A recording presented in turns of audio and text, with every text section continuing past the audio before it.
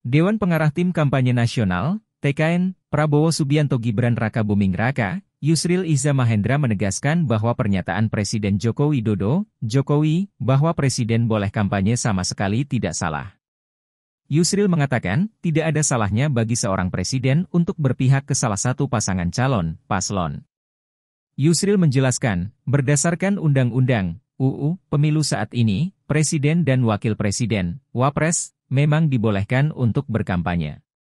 Mengutip ketentuan pasal 280 U Pemilu, pejabat-pejabat negara yang tidak boleh kampanye di antaranya seperti ketua dan para hakim agung, ketua dan para hakim Mahkamah Konstitusi, ketua dan anggota Badan Pemeriksa Keuangan, dan seterusnya.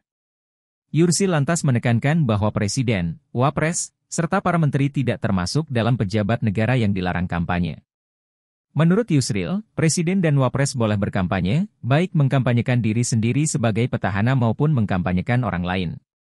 Dia juga mengingatkan bahwa ada pasal-pasal yang mengatur mengenai Presiden yang akan berkampanye.